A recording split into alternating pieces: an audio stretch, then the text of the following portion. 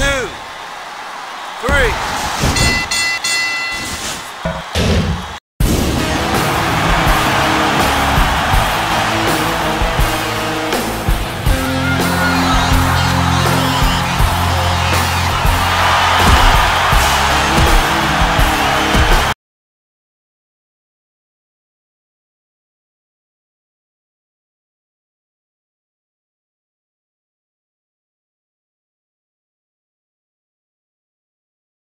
Subscribe now and press the bell icon.